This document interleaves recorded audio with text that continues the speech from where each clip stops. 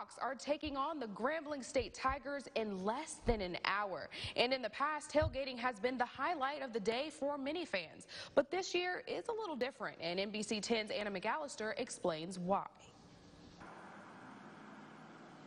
Just beyond this fence, the game of the year will kick off for the ULM Warhawks and the Grambling State Tigers. For years, this very spot, the Grove, has been the location for hundreds of fans to unite and celebrate the glorious sport that is college football.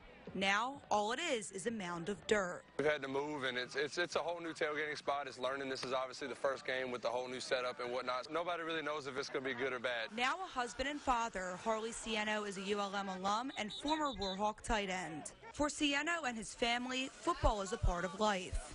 In fact, his family has tailgated in the Grove for nearly a decade. But the new construction for ULM's medical school has pushed the Cienos and other fans out. There was a lot of trees where we were at. Obviously, out here now, there's there's not a lot of trees and shade. Uh, so that's obviously one concern people do have.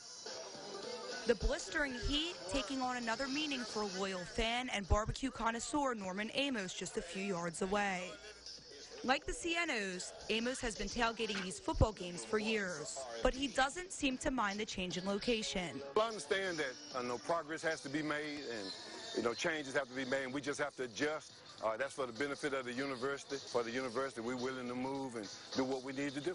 It's the end of a tradition for diehard fans who are used to camping out in the Grove. But despite the change in location, the team spirit remains the same. ULM, Grambling, go out and give your best. Let's go.